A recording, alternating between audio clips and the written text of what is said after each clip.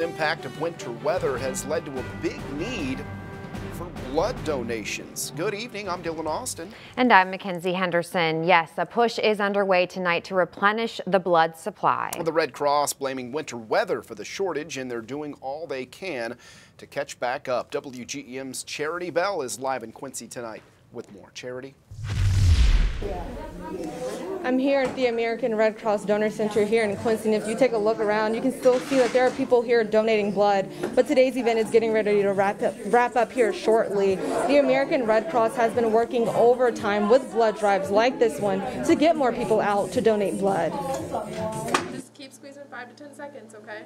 Every five to ten seconds, and we'll get your unit, okay? Thank you. This is the first time Joseph Moran has given blood in over 15 years. He was stationed in Turkey for a year while he served in the Army. He says that stopped him from being able to be a blood donor. I've been, been wanting to do it for years, so I, I used to, but until the, the, the time came up that uh, I couldn't. It is a gift of life, and I've had family members that have needed blood in the past, so this is my way of giving. Jim Whitfield with the American Red Cross Blood Services says there's always a need for blood, and the pandemic and now a hard winter is impacting their supply. American Red Cross collects about 13,000 pints of blood every single day.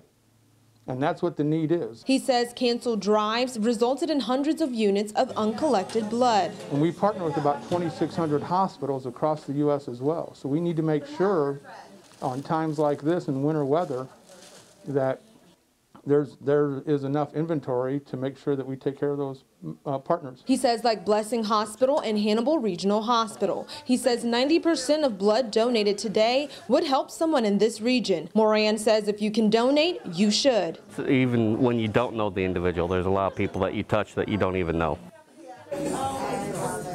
If you missed today's event, Whitfield says the next one is tomorrow in Hannibal from 1 p.m. to 6 p.m. at the Ark United Methodist Church. There is still time to register for that event if you would like to do so. Live in Quincy, Charity Bell, WGEM News.